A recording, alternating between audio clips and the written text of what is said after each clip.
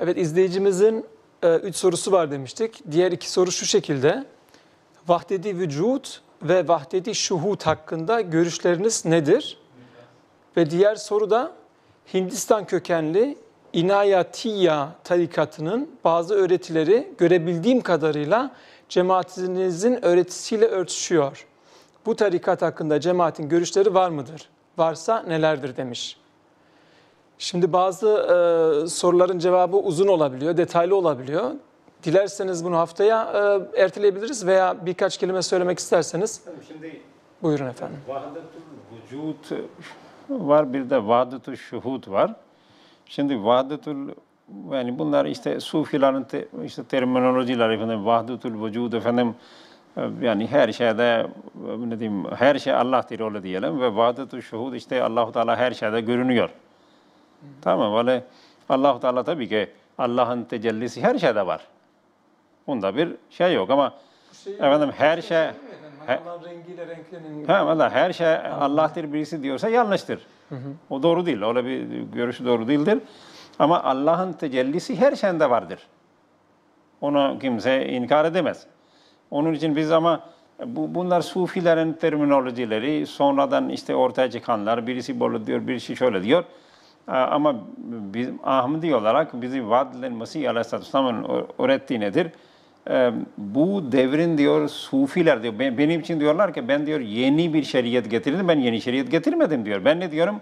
Muhammed sallallahu aleyhi ve sellemin hareket ettiği noktadan hareket et ama onun durduğu yerde dur. Haddini aşma diyor. Tamam. Ama diyor bu devrin sufileri diyor e, yeni şeriat uydurdular. Şeriatte olmayan şeyler söylüyorlar. Şeriatte olmayan şeyler yapıyorlar. Mesela fa- farklı zikirler var efendim. birkaç Tamam. örneğini Doktor Şems Doktor verdi Şems Bey verdi. Evet. Ee, ne diyeyim e, e, şimdi bizde efendim ashab-ı kiramdan daha büyük sufi yok.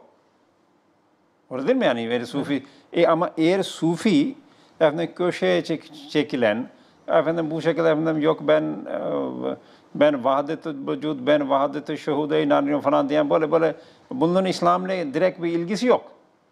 Tamam vaad edilen Mesih Aleyhisselam'a açık açık diye Allah Teala şimdi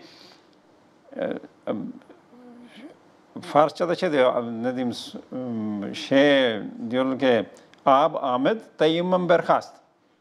Su geldiğinde teyemmümün hükmü kalmaz. Asıl olan bakmanız gereken şey nedir? Allahu Teala tarafından bu gönderilen imam geldi. Geldiğinde sufilerin hükmü yok.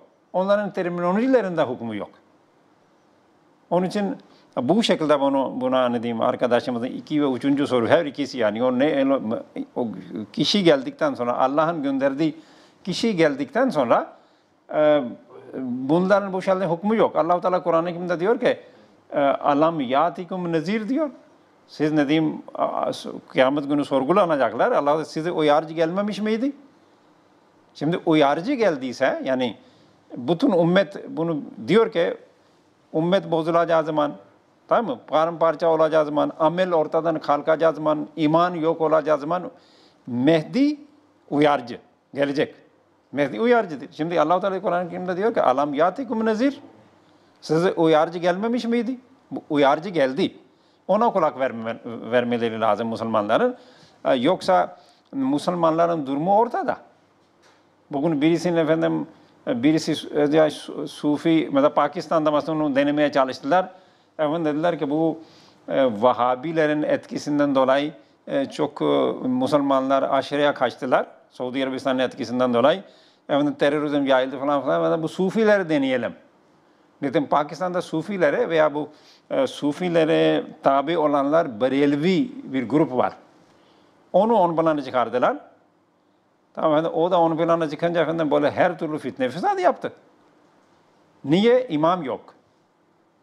Allah'ın gönderdiğine tabi değiller. Her kafadan ses çıkıyor. Her insan diyor ki benim fikrim, benim zikrim dindir. Bu doğru değil. Onun için bizim arkadaşımızdan ricamız asıl olan Resulullah sallallahu aleyhi ve sellem buyruğuna gelmesi. O imamı araması. Allah-u Teala'ya dua ederek, Rabbine yönelerek ama Allah-u Teala'ya eğer samimiyetle dua ederse Allah-u Teala ona yol gösterir efendim. Olur mu efendim? Teşekkürler. Şems abinin belki bir şey diyeceği varsa bu konuda onu, onu da soralım. Evet zaten son soruyu ben tekrar ele almak istiyorum. Yani